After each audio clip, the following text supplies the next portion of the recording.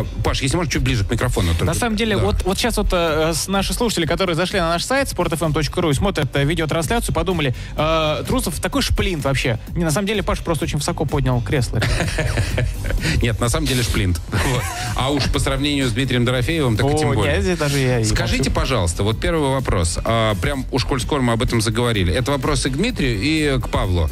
А, смотришь на азиатских конькобежцев и на спринтеров, они выглядят маленькими всеми. А у нас ребята все высокие, мощные. Это просто потому, что в Европе так а, получается, что у нас высокие, длинноногие, все совершенно фактурные конькобежцы. Ну, папа, мама подарили, наверное, рост. Поэтому генетически, наверное, заложено. Поэтому, наверное, по определению Павел или вот я не могли быть маленькими, потому что у меня папа высокий. Поэтому, наверное, так. Поэтому, конечно, определенные трудности есть, но нам это не мешает бегать быстро на коньках. Даже помогает. А я Даже немножко, помогает. я с не то, что поспорю, Саш, мне кажется, ты в первую очередь имеешь в виду шорт-трекистов, когда говоришь о габаритах. Почему? А Это они, спринтеры это они не вот там маленькие? чуть ли не между ног друг, у друга пролезают, раз-раз, что-то, оп, он уже первый, а был, а стартовал последним. Не, Паша, а разве спринтеры, они же, ну, азиаты, по-моему, тоже маленькие, да? Ну, они меньше вас. Фактически все, да, маленькие спринтеры всегда отличались такими большими ногами и очень Мускулистыми. резкие. Да, да, да. Ну, Я думаю, мы скоро это поправим. Ясно, Это вы лишите их резкости? Кстати, по поводу резкости, уж коль скоро об этом речь зашла, ведь резкость же тоже зависит от э, да, длины мышц, да, а получается высоким людям сложнее, да, при ускорении, при первоначальном ускорении. Ну, все мы разные, как бы я не считаю, что я с моим ростом недостаточно резкий или что-то. Надо думать, если чемпион мира. Ну, и вот, и как-то не думал. И все на уровне как бы с ними. Получается, это нормально. В принципе, рост и сила, и получается, очень даже складываемся хорошо. Слушайте, а вот смотри, вы э, бедра вот э, измеряете метром? Вот у кого больше, там, кто круче, вот так вот между Бедра собой, там, плечи. раздевалка там, нет? Ну, бедра у нас, да, основное, что мы измеряем, в принципе. Есть До такая... остального руки не доходят. да? Ну, не, это есть такое, да, меряем, все, это интересно. А, а- а с какого возраста вот начал мерить? Ну, понял, что прям растет, и понял, что вот уже прям больше, чем у э, там остальных своих там У сверстников. Виктора Анна. Ну, лет, наверное, с 17, когда уже на- начал с такого более-менее ростом, все вот это вот по- пошли вверх, Ага. и сразу заметно ноги, что идет конькобежец, а не какой-то про- простой парень. Дрищ какой-нибудь, да? Слушай, а смотри, ты же начал, в принципе, довольно поздно. Хотя, может быть, ты исправишь, в 12. Мне кажется, в основном Да, вот мы читаем да, по Википедии. Да. Ну, многие говорили, что поздно, но я так не считаю, я уже был готов. После тенниса еще я как бы так немного О. физуху поднял. Настольного тенниса такой. Ну, О, кстати, настольного? настоль- а что, среди как Да раз не, нет, настольном теннисе то, что высоких играет, ребят полно. Нет, то, что играет, понятно, но то, что началось с этого. Интересно, кстати, да, вот такой очень любопытный переход. А, Дима, кстати, тогда тебя тоже хочется спросить, а переход в коньки из какого-то другого вида спорта тоже состоялся в свое время? У меня нет. Да, нет, сразу коньки. Да, сразу коньки, но я до 9 лет рос и бегал, и на, и на лыжах катался, и в футбол играл, и целом конькобежный спорт, спорт давал э, на, начальном, на начальной подготовке детям очень много. Мы и в хоккей, и в футбол, и в баскетбол играли, поэтому...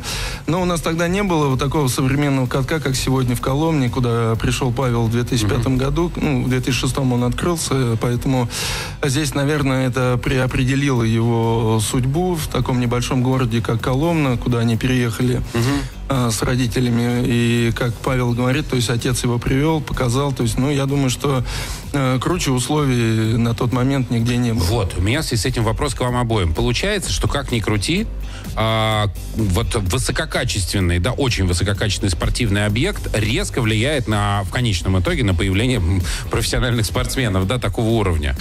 Но даже сколько не э, появления, а сколько, э, так скажем, методически и профессионально их можно там готовить.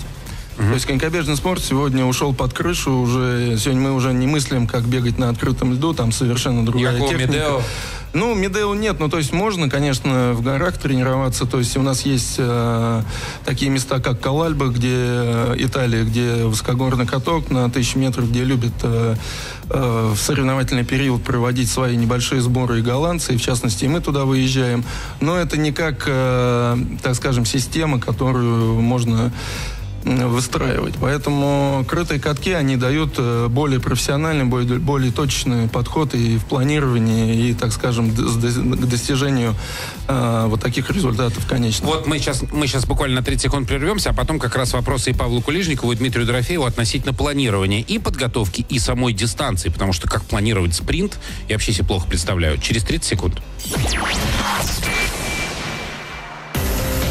Пробках в Москве сейчас 5 баллов по данным Яндекс Пробки. Движение плотное. А, по-прежнему самая длинная пробка на Волгоградке от улицы Академика Скрябина до Люблинской. Оста- остальные по полчаса на Щелковском шоссе от Медвежьих озер до Блашихинского шоссе. На Ленинградке от Беломорской до улицы Зои Александра Космодемьянских. Смотрим на МКАДе. Там 30 минут от Насахинского шоссе до Рязанского проспекта на внутренней стороне. На внешней столько же от улицы Подольских курсантов до Каширского шоссе.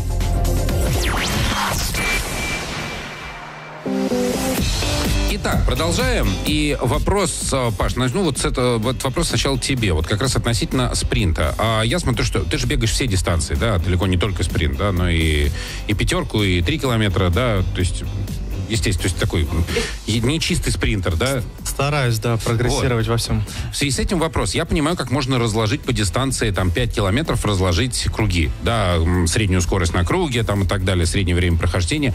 Но спринт такая история, при которой надо просто взять и пробежать, да, насколько я понимаю? Здесь разложить ничего не успеваешь.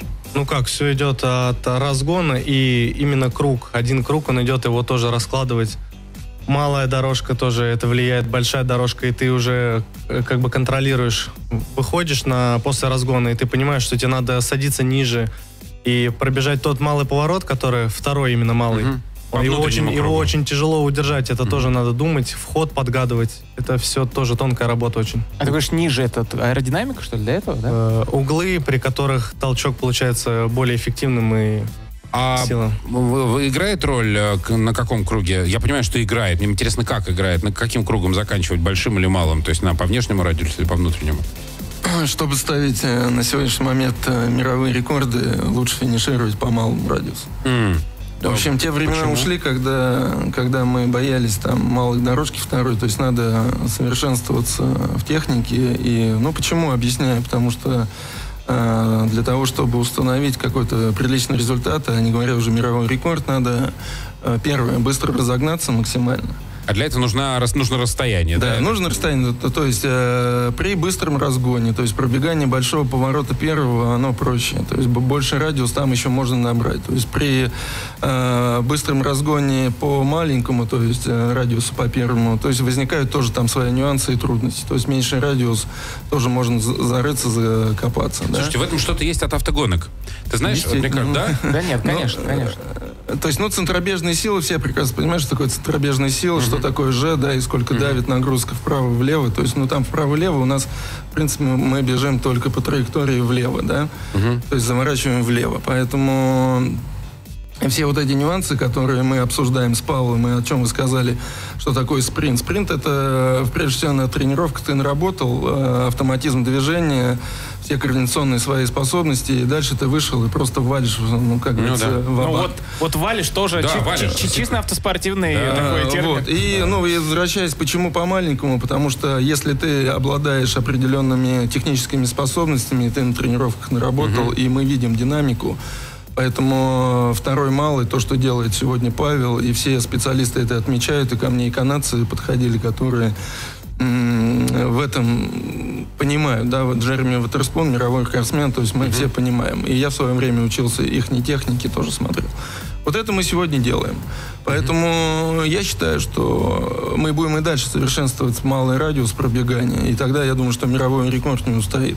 То есть я так понимаю, что еще... Э, да, прошу прощения. Я просто... Я хотел напомнить, добавить. что да. для тех, кто только подключился, Павел Кулижников и Дмитрий Дорофеев у нас в эфире сегодня, наши прославленные конькобежцы, соответственно, э, действующий спортсмен и его тренер. И вы имеете возможность задавать вопросы нашим гостям сегодня на 5533 в начале слова спорта. И они уже есть, но вопросы, я бы сказал, такие фундаментальные. Мы зададим для них еще. нужно будет время отдельно. Да, я просто хотел, чтобы с, с этим э, моментом вот как раз закончить с, э, и с мировым рекордом как раз-таки. То есть я так понимаю, что основной ресурс, да, Паш, относительно твоего дальнейшего прогресса, это как раз вот тот самый малый круг, да, и вообще в коньках, да, в спринтерских дистанциях.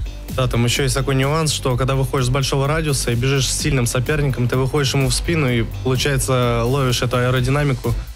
И как бы скорость выше, и ты входишь в этот поворот и убегаешь от него. Из-за этого вот А это как, жеребьевка определяется? Но, как ни крути, двойная выгода. Получи возможность приобрести Мегафон Логин Плюс по заманчивой цене за 4990 рублей.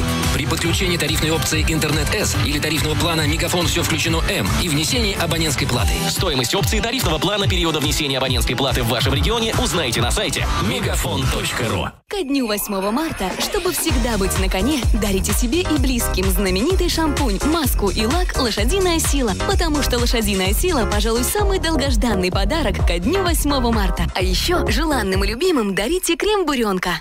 Лето-банк представляет потребительский кредит лета на особых условиях. Снижайте ставку по кредиту своевременными платежами. Платишь вовремя, платишь меньше. Подробности на летобанк.ру. ОАО «Летобанк». Софтспорт.ру. Новости и эксклюзивы из мира спорта. Фавориты и их громкие победы. Листай, читай, смотри. Софтспорт.ру. Такой спорт нам нужен. 12+. Телефон рекламной службы Спорт ФМ 620 46 64. Код Москвы 495. Утро должно быть спортивным. Пинг-понг шоу на Спорт ФМ. Продолжаем пинг-понг-шоу. Максим Трусов, Александр Кузмак и наши гости, наши замечательные конькобежцы, тренер и его чемпион, чемпион и его тренер Павел Кулижников, чемпион мира на отдельных дистанциях.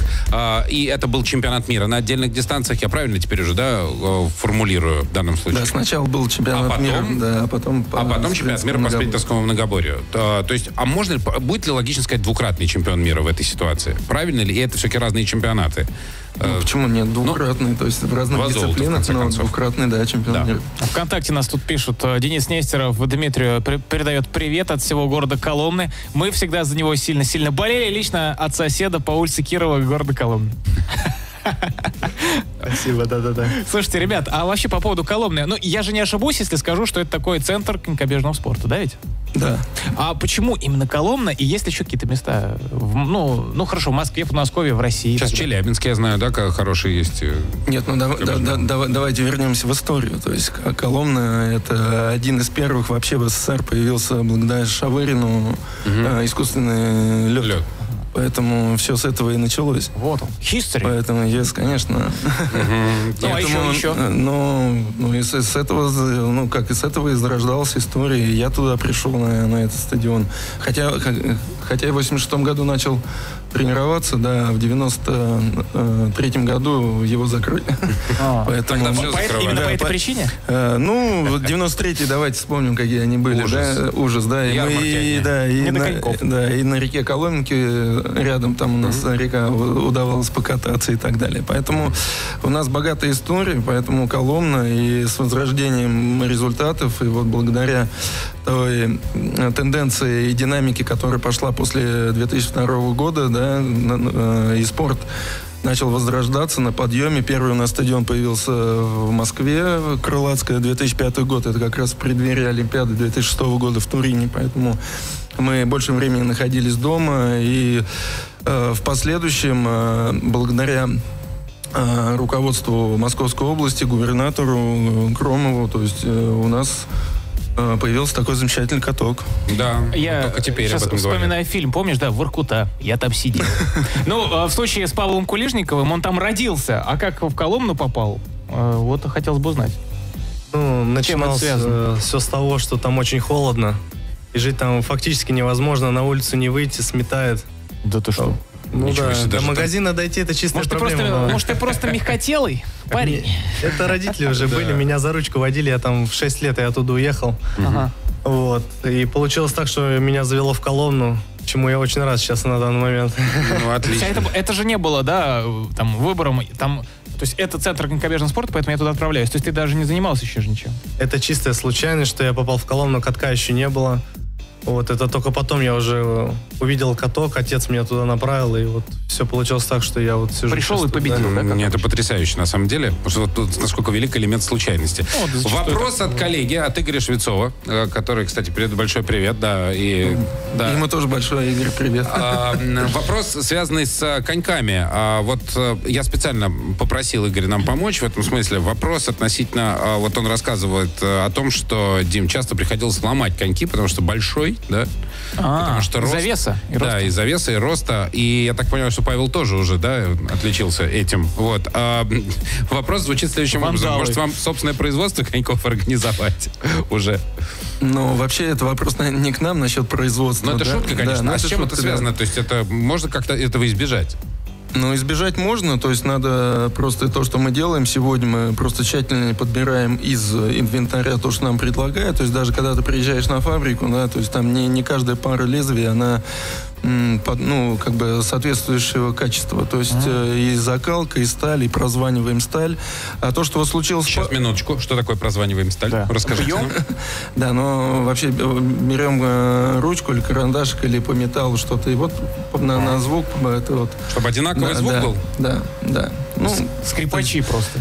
вот, ну, то есть это я тоже, то есть недавно это только так э, к этому приучился, да, увидел, и то есть до этого у нас, к сожалению, то есть мы воспитывались вообще технологий вообще никаких. Дмитрий, И вот сейчас на когда- секундочку прервемся, но у нас э, важная служебная пауза. Иногда прозваниваем тоже, не Да, только на сталь. секунду. Да, да, И мы продолжим сразу.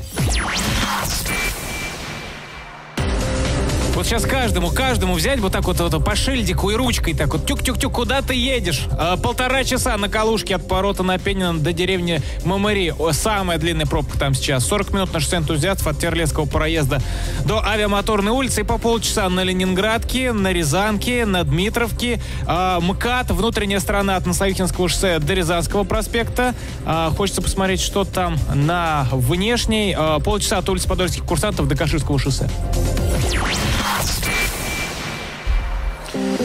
Итак, э, продолжаем. И э, не, очень много вопросов пришло на наш Павел. Кулижников, Дмитрий Дорофеев у нас в гостях. Да, мы их тоже обязательно зададим в свое время. А, а, собственно, почему в свое время? Вот сейчас, наверное, и зададим. А, тут много интересных вопросов, и смешных, и вполне серьезных. Ну, из смешных вопросов, тем более вы скажете, что все время заворачиваете налево. А, да, да, по, по ходу гонки. Да, давайте Не поправим, жена- не скажем, женат еще влево. да? Да, Да, да, Не что- Нет, я сейчас как раз не, не об этом хотел спросить.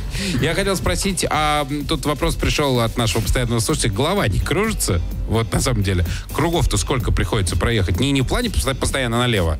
а, ну, Не, ну налево, правильно, ты что говоришь? Ну да. Не, совсем не кружится, все как-то происходит, даже не думали никогда об этом. Круг большой, не успевает. А глаза никогда не закрываешь? э, Походу, а как? Когда спит только. Странно, да. Удивительный человек, да? А, по поводу закрытых глаз и незакрытых тоже. Вот еще один вопрос важный, на мой взгляд. А, наверное, и Дмитрию приходилось через это проходить. А, Паш, а тебе обязательно придется проходить это сейчас. Хотя мы приветствуем вас в эфире и очень рады вас видеть. Но, тем не менее, а, медные трубы — самое сложное испытание, как говорят в таких случаях. Сейчас весь мир о тебе уже знает. Конькобежный ты уж точно. А год назад, как мне подсказывает, опять-таки, коллега и друг мой Игорь Швецов, в агентстве РИА Новости не было ни одной фотографии Павла Кулижникова. Ее найти не могли. А Зачем сейчас весь мир говорит, фотографию? как ты с этим теперь, ты уже приспособился к этой ситуации? Ну, в принципе, с чем, что... А Известность, популярность, она все равно растет, и дай бог будет расти. Ну, нормально, как бы, пока привыкаю, только вот эти звонки и все, как бы...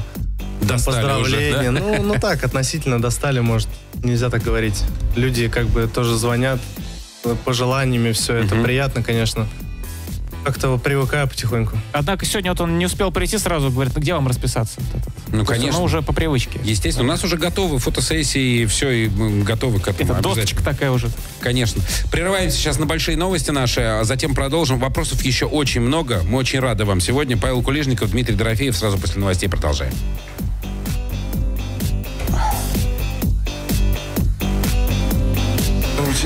Продолжим мы после того, как новости э, отгремят в эфире э, Спорт ФМ. Сейчас в Москве 9 часов э, 28 минут. Я напоминаю, 5533 в начале слова спорта, смс-портал, на который э, приходят ваши сообщения. Активно, Артем, как всегда, все зададим сразу э, после выпуска. Ну и ВКонтакте, группа Спорт ФМ, там у нас вкладочка «Утреннее пинг-понг-шоу», э, тоже все самое интересное цитируем в нашем эфире. Ну и, э, естественно, э, Паш тоже, кстати говоря, он сидит рядом, все это видит и читает.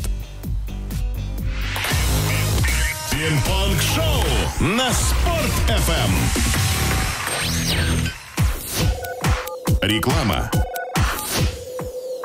Поехать хочешь за границу, но цены лучше посмотри. В Караоте ты можешь закупиться не хуже, чем в Duty Free. 7, 8 и 9 марта в Караоте скидка 18%. Подробности на кадифисраута.ру Это опять мне? Вчера цветы, сегодня цветы. Я чего-то не знаю. Теперь знаете, в обе тюльпаны по суперцене 129 рублей за 5 штук. Дарите цветы по поводу и без. Обе сделаем вместе. Цена действительно до 31 марта 2015 года. Квартиру. Хочу квартиру. Звони в компанию РЭД. Апартаменты бизнес-класса на водном стадионе, на Соколе или на Бауманской. Акция до конца марта. Первый взнос всего 10%. Есть рассрочка без переплат на 2 года. Подробности 495-988-2111 и на theloft.ru.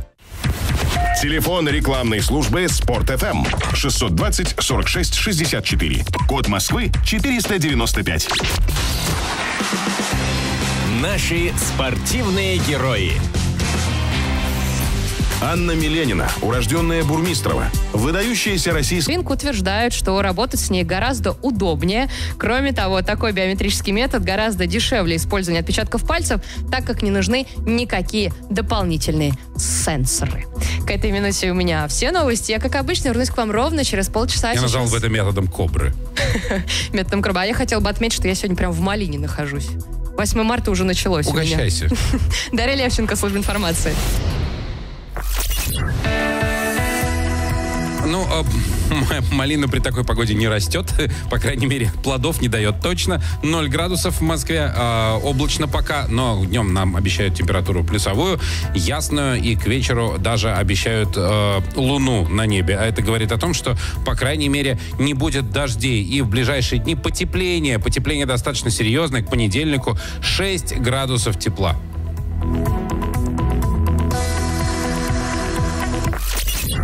Утро должно быть спортивным. Пинг-понг-шоу на Спорт ФМ.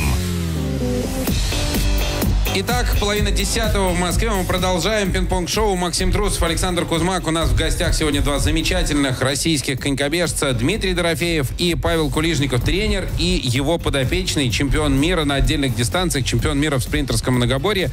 А, собственно, два человека, которые принесли, вернули славу российским конькам, уже, что называется, в полном объеме. А, Павел и Дмитрий, еще раз вам доброе утро.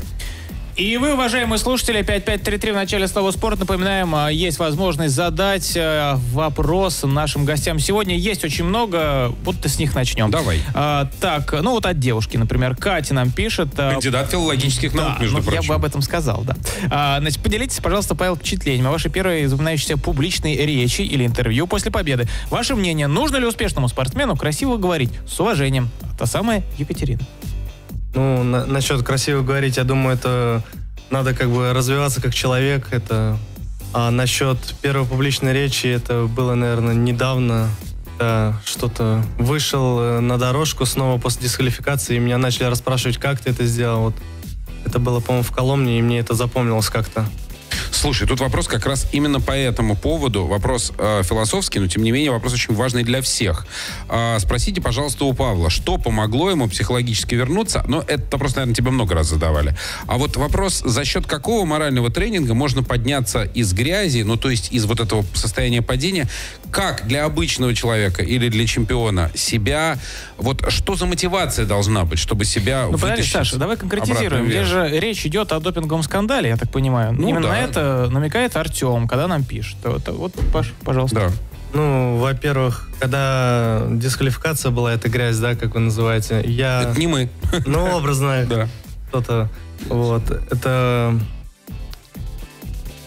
Была Это- несправедливость, как ты Да, для меня это несправедливость. И вообще, я в голове сразу думал, что я смогу доказать, вернуться. И то, что я-то про себя знаю, что я ничего не принимал такого, что мне поможет там дальнейшее. И то, что я смогу выйти и доказать, это была главная мотивация на дальнейшее. И смотря на результаты России, я понимал, и результат не то, что России и мира, что я мог выйти и доказать это, что я сделал в этом году по полной программе, я считаю. Послушайте, а вот это количество каких-то разных э, веществ, по крайней мере, мы когда читаем, они же всегда конкретизируются, там, принимал вот это, там, не принимал вот это. И у меня есть ощущение, что спортсмены, даже уже в таком молодом возрасте, они становятся, ну, не, чуть ли там э, не прям специалистами э, в области медицины, потому что постоянно приходится с этим А сталкиваться. то ли я ем, это или а то ли действительно, я пью. это действительно так? Ну, в меньшей степени у нас конькобежный спорт чистый считается. И по поводу медицины, ну, можно сказать, в некоторых случаях, да, что-то я новое узнал, даже не чуть-чуть, ну, в медицине что-то могу. Ну, а это, это что вот? Это же каким-то образом связано с э, питанием же в любом случае, да? То есть, соответственно, э, многие же, да, попадались в, в ситуации, когда что-то вот действительно съели что-нибудь, а потом выясняется, или закапали себе там в нос какие-нибудь капли, а выясняется, что этого было делать нельзя ни в коем случае. Ну, уже давайте, Дмитрий, да- да. да- э, дава- да- давайте начнем с того, что когда я впер- ну, возглавил э, молодежную команду, то есть у нас были большие тестирования и пропаганда, э, опять же, против допинга. Э, Ребят сдавали тесты на допинговую грамотность, так скажем. И этому очень О, большое... такая есть. Да. И это, то есть это специальные тесты, где ты отвечаешь на вопрос, тебе задается вопрос в компьютерном виде, и ты ставишь ответ по пунктам. То есть э, у нас практиковалось это в команде, и все у нас спортсмены это сдавали.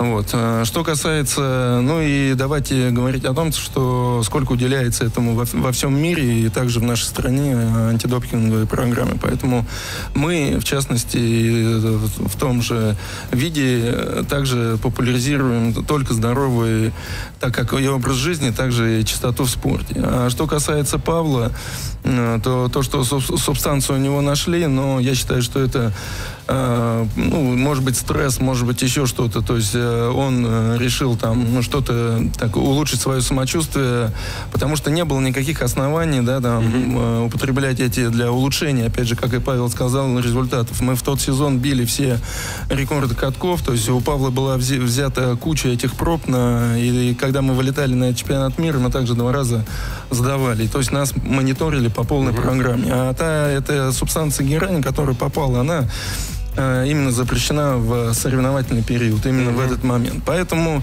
давайте не будем копаться э, вот в, этой, в этом грязном белье, да, можем, можем скаж- ска- сказать так, что Павел все осознал, то есть свою детскую ошибку он понял, и на сегодняшний момент я считаю, что он доказал и полностью сомнений. реабилитировался. Для нас, реабилитировался. для нас как раз мы наоборот стремимся не то чтобы не копаться, а для нас гораздо важнее в данном случае, что в голове происходит у человека, чтобы помочь самому себе подняться, э, вот выбраться из этой ситуации психологической, не, не, не, не, в, не в смысле там компромата какого-то. Ну, да, да, да, давайте говорить о том, что пострадал не только Павел, а пострадал и тренер, да. А как и же? Ну, конечно. В, в этом, в этом случае мы нашли те у нас очень, очень хорошая команда сформировалась, и э, в той же Коломне та же группа спортсменов, э, Руслан Мурашов, э, Кирилл Голубев и ряд еще ребят, которые на сегодняшний момент являются также членами сборной команды страны.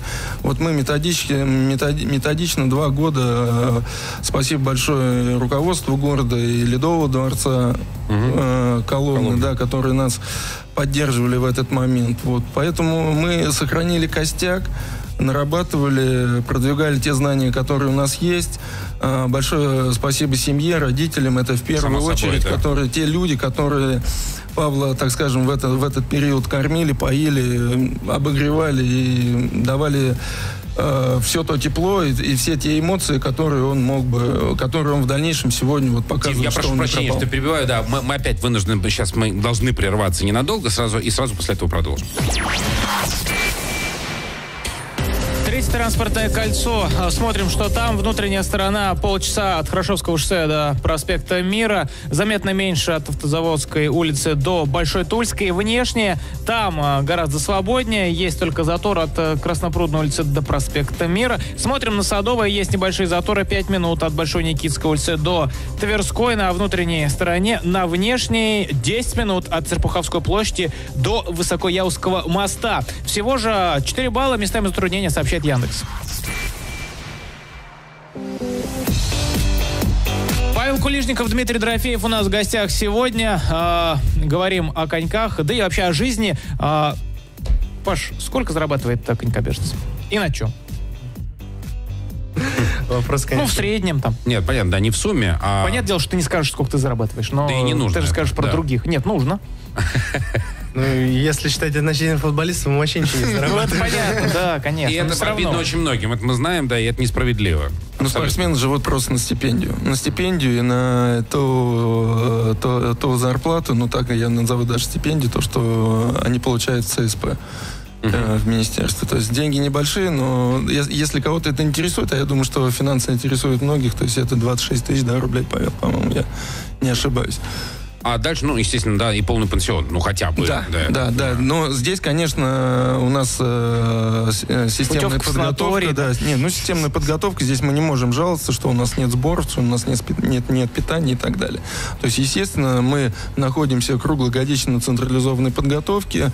Но я думаю, что Павел ее отрабатывает в полной мере. Скажите, пожалуйста, в связи с этим, опять же, а, вот мы говорим про э, там кон- коньки в Нидерландах как религию, да, вообще, то есть как э, национальный вид спорта, катаются на каналах, там по, да, на замерзших и так далее. А у меня в связи с этим вопрос.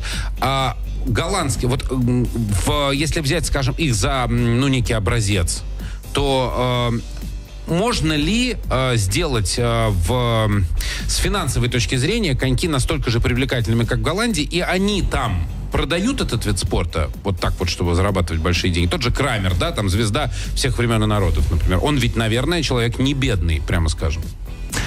Вы знаете, ну давайте мы э, посмотрим на Голландию в целом в объеме, да? правда, нет И- больше ничего, кроме футбола и коньков, да. Вот в том-то и дело. Ну, еще велосипед развивается неплохо. Поэтому, если говорить, да... то- Гиблое место, да, Да, если абсолютно. говорить, да. То есть, и если мы сегодня возьмем Россию, да, ну, мы великая страна, и поэтому мы развиваем по всем направлениям и по всем, так скажем, видам спорта олимпийским, зимним. Поэтому, ну, с, с этой точки зрения, возможно, где-то сложнее, да, продвигать.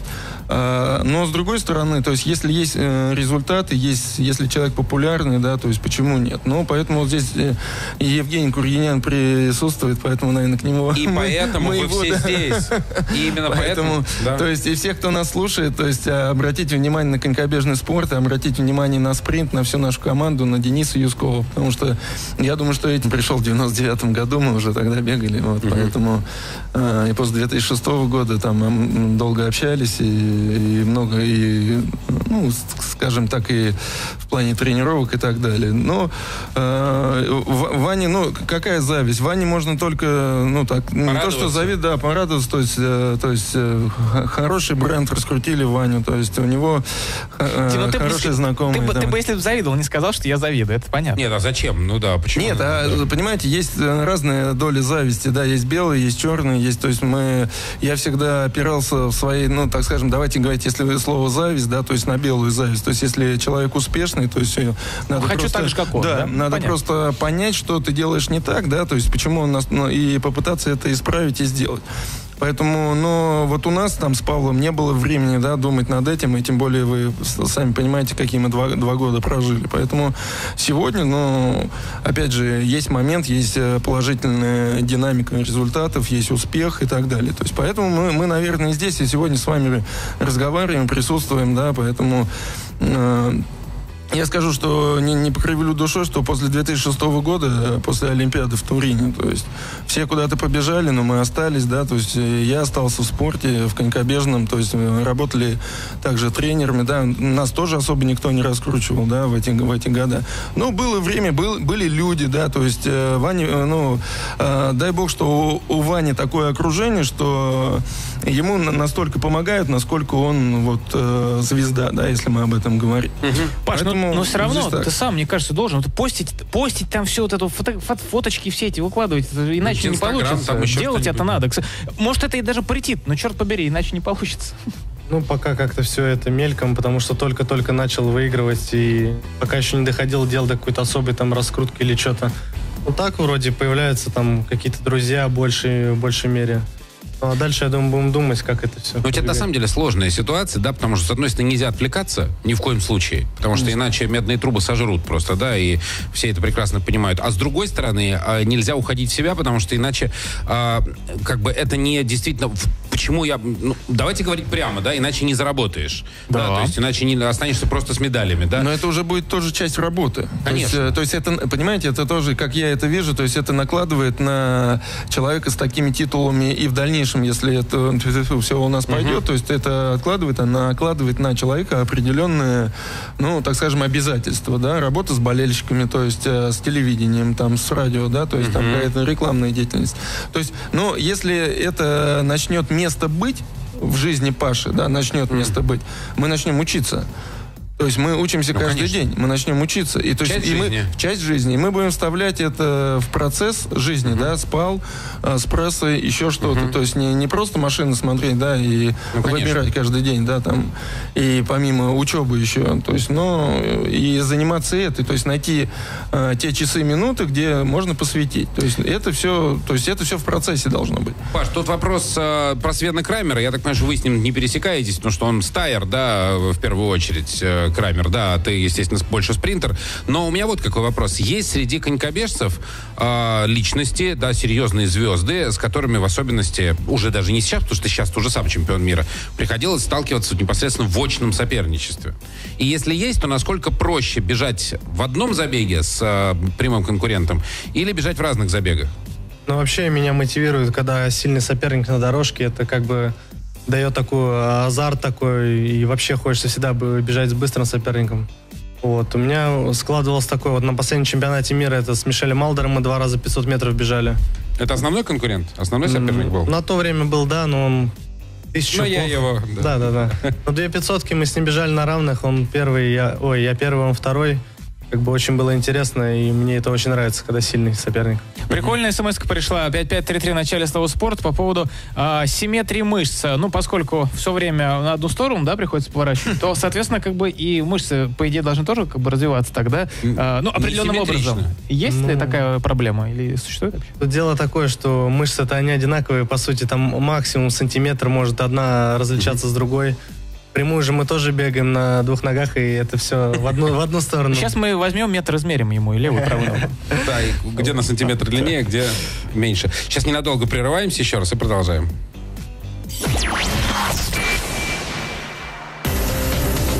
Изменилась ситуация на дорогах Москвы. К этой минуте 4 балла по-прежнему. Местами затруднения сообщает Яндекс. Ровно час на шоссе энтузиастов от 3 Владимирской улицы до авиамоторной.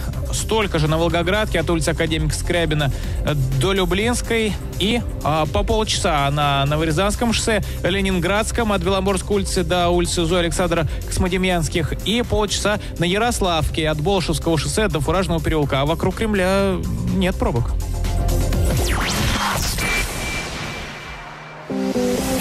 Еще несколько вопросов. Давайте попробуем в режиме Блиц, потому что вопросы хотя и длинные, но времени, как всегда, не хватает, поэтому попробуем э, так коротко их задать. А, вопрос сначала Дмитрию Дорофееву. А, хронические травмы конькобежцев, к чему быть готовым детям а, и родителям, когда они отдают эм, своих детей в конькобежный спорт? Э, Хронических травм нет, надо просто выстраивать грамотно подготовку детей. Ну, э, хорошо. Какие наиболее Колени. такие зоны риска? Колени. Колени, спина, спина, поясница. Мгм. Ясно. Еще один блиц. Э, Как совместить учебу и спорт? Удается ли это делать тебе, Паш? Никак. Павел Кулижников у нас. Никогда не получалось учиться, это такое хроническое у меня. Я как-то Вот она пытался... травма. Да, да, да, да, да. Вот. Ну, совмещать надо это, потому что по жизни пригодится. Это всегда все говорили. Это надо перебарывать просто. Уделять какое-то время всегда. Ну, Павел у нас студент уже. Учись студент, как говорил. Учись студент, да. Ясно. Поэтому все равно будет совмещать. Ну, заочно, да, я так понимаю? Деваться некуда. Да, заочно. Хочется добавить, кто не работает, тот ест, да, еще? Да, ну это у нас, это уже не, не из области спорта, к сожалению. Тут, видимо, так не бывает. А, вопрос к вам обоим. О чем думает конькобежец перед стартом, когда ждет выстрела пистолета? Он успеет вообще о чем-то подумать?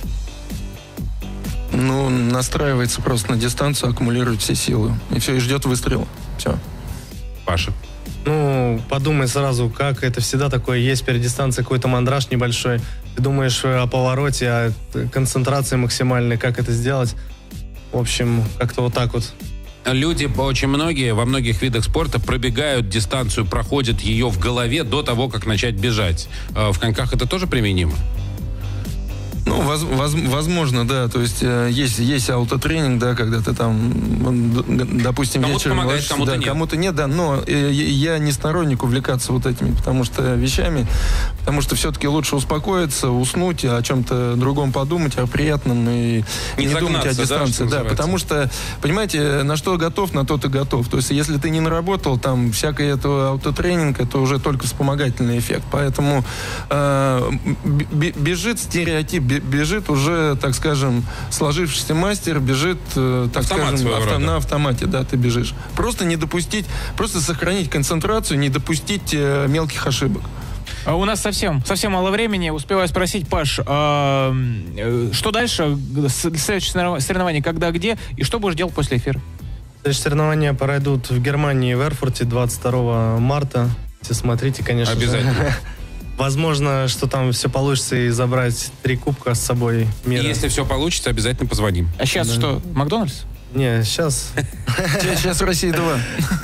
сейчас дальше А, коллегам дальше. А в мы были раньше, мы были первыми. Ну да, мы раньше начинали. Э, Друзья, огромное вам спасибо. Спасибо Евгению Кургиняну, который нам помог. Э, Спасибо Дмитрию Дорофееву. Спасибо Павлу Кулижникову и за ваши титулы, и за то, что у нас есть в конькобежном спорте такие достижения. Мы вас всегда ждем, в особенности в те моменты, когда у вас будет хорошее настроение. Надеемся, 23 марта оно будет хорошим. Спасибо, что пригласили. Спасибо всем болельщикам. Болейте за конькобежный спорт. Ура! А мы остаемся и вернемся сразу после новостей. Будем говорить о биатлоне, хоккее и футболе. Реклама. Это опять мне? Вчера цветы, сегодня цветы. Я чего-то не знаю. Теперь знаете, в обе тюльпаны по суперцене 129 рублей за 5 штук. Дарите цветы по поводу и без. Обе сделаем вместе. Цена действительно до 31 марта 2015 года. Телефон рекламной службы Спорт ФМ 620 46 64. Код Москвы 495. Хоккейная лихорадка. 1972 год был олимпийским, но чемпионат мира прошел особым турниром. Таким образом, впервые в истории хоккея титулы чемпион мира и олимпийский чемпион были разделены. Этот мундиаль ждали не только по строго спортивным причинам. В хоккей вновь вмешалась большая политика. Сборная СССР должна была посетить Прагу впервые после событий 1968 года. И, разумеется, действующих чемпионов мира ждал более чем горячий прием. В Советском Союзе немногие были хорошо осведомлены о том, что произошло в столице Чехословакии в августе 68-го. И поэтому для большинства телезрителей невероятная мотивация хозяев в матче против гостей из СССР стала сюрпризом. Однако для чехословаков, многие из которых видели в советской сборной отражение Красной Армии, четырьмя годами ранее разрушившей спокойный ход жизни в их стране, было невероятно важно одержать победу здесь и сейчас.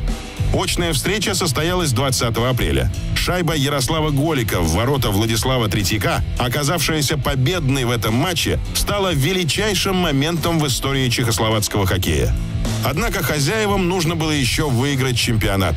Для этого необходимо было побеждать финнов. Задача была вполне выполнимая. Да тут еще и шокированные поражением советские хоккеисты не смогли одолеть шведов. Так оборвалась золотая серия советского хоккея, продлившаяся без малого 10 лет. Впрочем, новый ждать при